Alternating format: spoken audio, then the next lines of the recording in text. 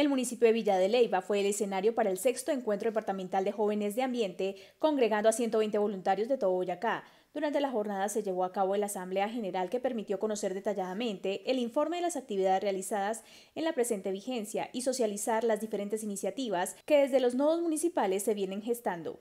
La red de jóvenes de ambiente de Boyacá es la más grande del país y es apoyada por Corpo Boyacá desde su nacimiento. Llevamos ya 28 nodos de diferentes sitios del departamento de Boyacá y un total de 417 jóvenes se han vinculado.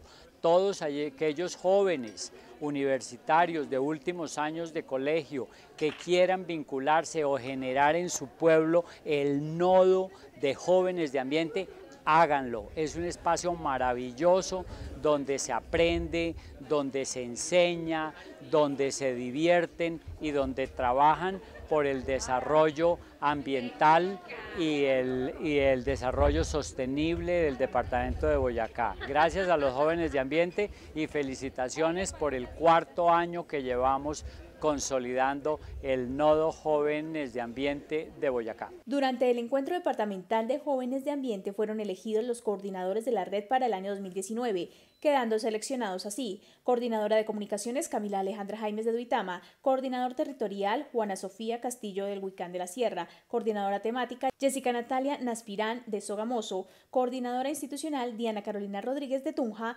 coordinador general Manuel Zárate de San Luis de Gaceno. Jóvenes dinámicos y propositivos comprometidos con sus entornos naturales, que ven en la educación ambiental un baluarte de los diferentes procesos que desarrollan.